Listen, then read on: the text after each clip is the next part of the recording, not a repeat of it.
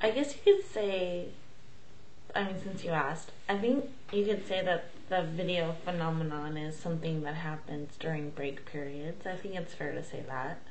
Any other questions? No? Okay, then we'll just wrap it up. Thank you guys for coming. Bye.